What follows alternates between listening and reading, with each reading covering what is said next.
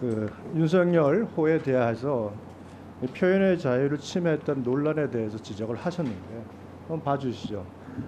어, 그 밑- 화면을 보시죠. 이에 오른쪽에 있는 것이 2019년 보리스 존슨 영국 총리를 비판한 정치 카툰입니다.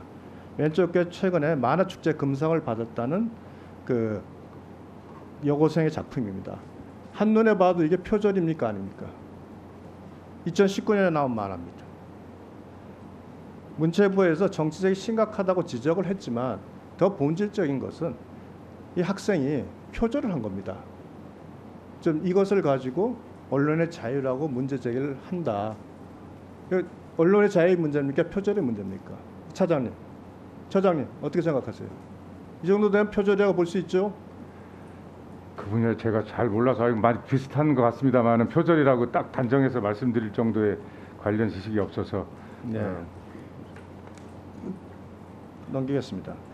만화 공모전에서 고등학생이 수상한 수상작 어, 아주 지금의 현 세태를 신랄하게 풍자했다라고 생각이 됩니다.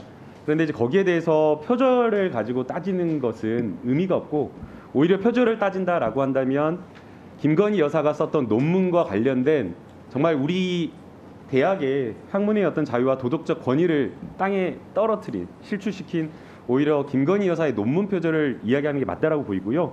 그걸 가지고 정부에서 엄정 조치를 한다거나 또는 국회 차원에서 그것을 규탄하거나 비판하는 것은 오히려 적절하지 못하다고 생각이 됩니다. 오히려 고등학생이 그 만화를 통해서 표현하고자 했던 성렬 윤석 열차가 폭주하면서 그리고 그 뒤에 나오는 앞에는 김건희 여사가 타고 뒤에는 검사가 칼을 들고 있는 그 모습을 어떻게 이 세상을 보여주고 있는지를 저희가 보는 게 바람직한 것이 아닌가라는 생각이 듭니다. 어, 법원행정...